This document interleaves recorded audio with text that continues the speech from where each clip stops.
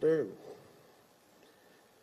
ఇప్పుడు ఫ్లెక్సీలు సింపుల్ చాలా సింపుల్ ఉదాహరణ. ఫ్లెక్సీలు ప్లాస్టిక్ వాడకూడదు ఫ్లెక్సీలు నిషేధం అని చెప్పారు. ఫ్లెక్సీలు నిషేధం అని చెప్పారు. కానీ వాళ్ళకి వచ్చేటప్పటికి ఉదాహరణకి ఆయన పుట్టినరోజుకి వచ్చేటప్పటికి మొత్తం అన్ని రకాల ఫ్లెక్సీలు వేశారు ఇంక్లూడింగ్ ఆంధ్ర యూనివర్సిటీ లోపల కూడా వేశారు. అంటే రూళ్ళు చెప్పడానికి కన్వీనియంట్గా మాట్లాడతారు కానీ అందరికీ అప్లికబుల్ అని ప్రభుత్వం కానీ పోలీసు ప్రభుత్వ యంత్రాంగం వాళ్ళ చేతిలో ఉన్నప్పుడు అప్లికేషనే కదా. అది మాట్లాడడానికి వాళ్ళు వైసీపీ వాళ్ళకి నిజంగా కోవిడ్లో వాళ్ళు ఎన్ని ఎన్ని దారుణాలు చేశారు? అందరినీ ఇళ్ళలోంచి బయటికి రావద్దని చెప్పి వీళ్ళు పుట్టినరోజుల ఫంక్షన్లు తిరణాలని చేసుకున్నారు వీళ్ళు. అందుకని ఇది ఈ రూల్ బేసిక్గా ప్రతి ప్రధాన ప్రతిపక్షాలు ఏది బయట మాట్లాడకూడదు బయటికి రాకూడదు ప్రజలకి దగ్గర అవ్వకూడదు వాళ్ళ గోడినకూడదు. ఎందుకంటే సింపుల్ రైతు బర్ నేను జనవాణి కార్యక్రమం చేస్తుంటేనే అది జ- జరగనివ్వకుండా అడ్డుకున్నారు. అంటే ప్రజలు వాళ్ళ తాలూకు రిప్రజెంటేషన్ ఇవ్వకూడదు. అలాగే మా- ఉదాహరణకి మొన్న ఈ కావల్లో జరిగిన సంఘటన. ఇంతమంది కనీసం ఒక వంద మంది మోర్ దెన్ ఒక పది మంది గుమ్మి కొడితే ఇట్ ఈస్ రెస్పాన్సిబిలిటీ ఆఫ్ పోలీసులది బాధ్యత అది. వంద మంది ఉన్నా ఎక్కువ ఒక పది మంది జనం ఉంటే అది పోలీసులది బాధ్యత లా అండ్ ఆర్డర్ సిచ్యువేషన్ ఎందుకున్నారు దేనికనేది పోలీసు యంత్రాంగం చూడాల్సింది. అలాగే ఇన్ని వేల మంది వస్తున్నప్పుడు police may any political party ఎవరైనా సరే మేము పోలీస్ పర్మిషన్ పెడతాం. ఇంతమంది వస్తున్నాం ఇంతమంది గుమిగూడుతున్నాం మేము. ఇంతమంది మా మీటింగ్కి వస్తున్నారు మీరు చూసుకోవాలి అని చెప్పి. వాళ్ళు పోలీస్ ప్రొటెక్షన్ ఇవ్వకపోతే ఏం చేస్తాం? అంటే మా బాధ్యత యాజ్ అ పొలిటికల్ పార్టీగా మేము అవేర్నెస్ ఇవ్వడం మాట్లాడటం తెలియజేయటం విషయాలు తెలియజేయటం జరుగుతున్న తప్పులను తెలియజేయటం. అంతేగాని కూర్చోబెట్టి మేము లా అండ్ ఆర్డర్ మా ఇప్పుడు లాఠీలు కూడా మేము మేమే పట్టుకోవాలా? మా మీటింగ్లకి మేమే లాఠీలు వాళ్ళకి పోలీసులు దేనికి ప్రభుత్వాలు దేనికి ఇప్పుడు? సో ఇలాంటి అలాగే రెండో ఇన్సిడెంట్ గుంటూరులో జరిగిన ఇన్సిడెంట్ కూడా చూస్తే నాకు ఒకటే అనిపించింది. ఈ పోలీస్ కనుక నిజంగా నాకు సింపుల్ ఇది law and order security failure అది ఈ మీటింగ్ సంబంధించి.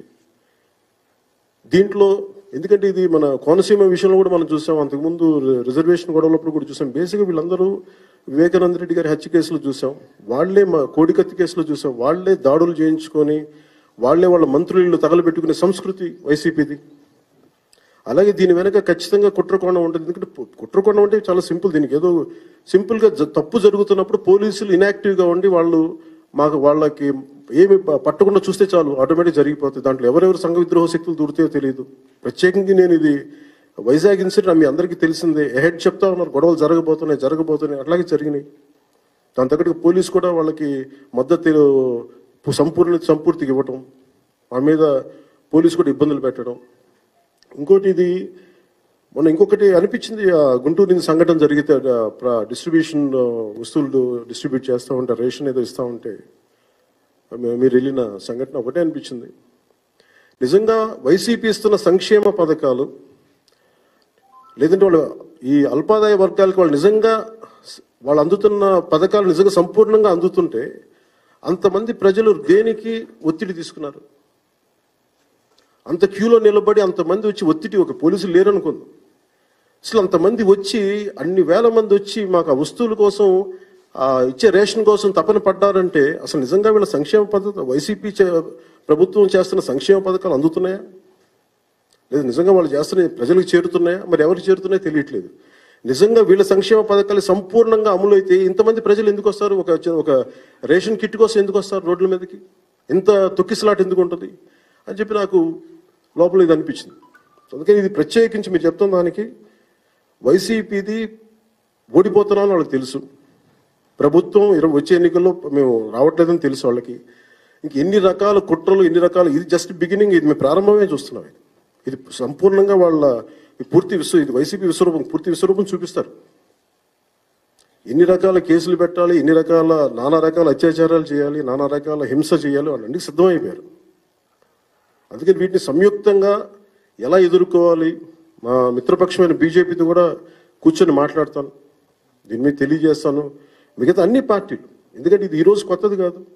ఎమర్జెన్సీ టైంలో కూడా కాంగ్రెస్ అప్పుడు కాంగ్రెస్ ఉన్నప్పుడు అన్ని పార్టీలు ఇంక్లూడింగ్ కమ్యూనిస్టులు కానీ జనసంఘ్ కానీ ఇప్పుడు ప్ర- ఇప్పుడు బీజేపీ కానీ ఇంక్లూడింగ్ డయామెట్రికల్ ఆపోజిట్ ఐడియాలజీ ఉన్న పార్టీస్ కూడా ఒక వన్ ప్లస్ సింగిల్ ప్లాట్ఫామ్ మీదకి వచ్చినాయి. అలాగే నేను వై- వైసీపీ వ్యతిరేక ఓటు చీలనివ్వనంటే నా ఉద్దేశం ఏంటంటే అసలు నువ్వు డెమోక్రటిక్ ప్రాసెస్ నువ్వు ఎలా చేస్తేనే కదా. వాయిస్ ఆఫ్ డిసెంట్ ఉంటుంది డెమోక్రసీలో అందరూ మనకి నచ్చే వ్యక్తులు ఉండరు. అసలు నాకు వాయిస్ ఆఫ్ డిసెంట్ ఉండకూడదు నాకు ఎవరు ఎదురు తిరగకూడదు అందరినీ తొక్కేస్తాం అందరినీ ఎప్పుడో చచ్చిపోయిన బ్రిటిష్ వాడి వెళ్ళిపోయిన తర్వాత వాడి జీవులను తీసుకొచ్చి ఇక్కడ అమలు చేస్తామంటే ఇంక ఇంతకుమించి దిగజారుడుతనం ఏముంది? అందుకని దీన్ని ఖచ్చితంగా సంయుక్తంగా బలంగా ఎదుర్కొంటాం.